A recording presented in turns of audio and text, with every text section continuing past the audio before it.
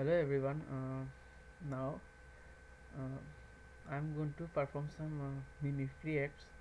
Especially uh, uh, it's a mimicry of a of an animal uh, that is especially dog. Yes that on that's only dog. Mm. and let's start it